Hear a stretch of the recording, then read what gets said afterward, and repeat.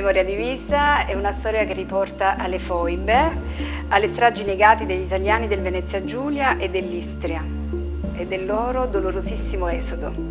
È un modo per ricordare una pagina di storia ancora ignota, soprattutto poco nota nel nostro territorio, nonostante Napoli dal 1946 abbia accolto più di 8.000 profughi.